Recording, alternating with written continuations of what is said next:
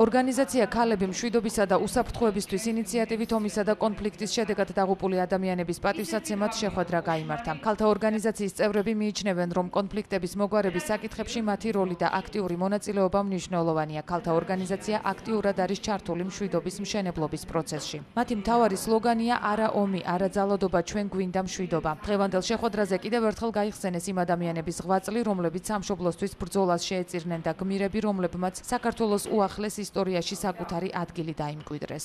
აღნიშნავთ დღევანდელ დღეს. ჩვენ პატივს მივაგებთ დაღუპულ მეომრებს, რომლებმაც ჩვენი კეთილდღეობისათვის, ჩვენი უსაფრთხოებისათვის, ჩვენი მშვიდობიანი ქვეყნისათვის და არსებობისათვის თავიანთი თავი შესწირეს. აა ეს არის ჩვენი ერთგვარი პატივისცემა ამ ადამიანებისათვის. რას ვაკეთებთ ამ დღეს ხოლმე? გვაქვს ესეთი შეხვედრა, გახსენება მათი, მოწეული ყავს მათი ოჯახის წევრები და შემდგომ ვაწყობთ მშვიდობიან მსვლელობას ხუდღიანმა ომმა დავაკარგინა 20% ტერიტორიებისა. დაღუპულია ახალგაზრდები.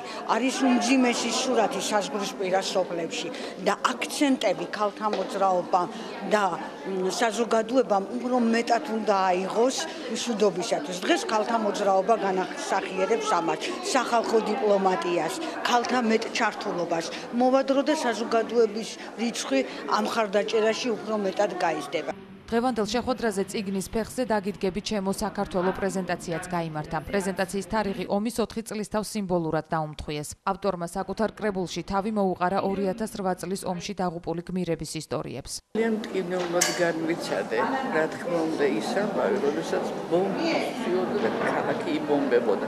აი სწორედ იმას აივანზე ვიჯექი და როგორც გიში ისე გავარდი გარეთ ეზოში რომ ვცდილობ ის ბომბი მე დამცემოდა რომ არ გამეგო. მეორე დღეს ჩემი ქვეყნის ჩემი ქალაქის ჩემი ღიმილის ბიჭების და და ვა და ის სწორედ ამ ამბავმა დამაწერინა ეს პატარა წიგნი და რომელშიც მოცემულია რამდენიმე ჩემი ნამოწაფის ცხოვრება და ეპიზოდებია ცხოვრებიდან შეხვედრის დასრულების შემდეგ გორის ქუჩებში მშვიდობიანი მსვლელობა მოეწყო მონაწილეები წითელი ყვავილებით ხელში გაემართნენ გმირთა მემორიალებამდე. მშვიდობიან მსვლელობაში მონაწილეობდნენ ომში დაღუპულთა ოჯახის წევრებიც.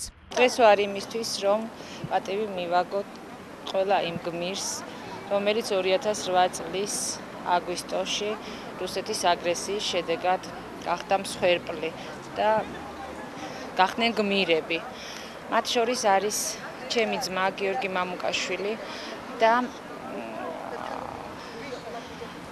ბამა ყობრომ გმირი გავზარდეთ, საქართველოს გმირი გავზარდეთ. ორგანიზაცია ქალები მშვიდობისა და ერთიანობისთვის ყოველწლიურად 7 აგვისტოს შეხვედრებს მართავს. შეკრებილი საზოგადოება სისხლიანი აგვისტოს ფრაგმენტებს იხსენებს და ხალხს მოუწოდებს გაერთიანდნენ მშვიდობიანი და უსაფრთხო მომავლისათვის.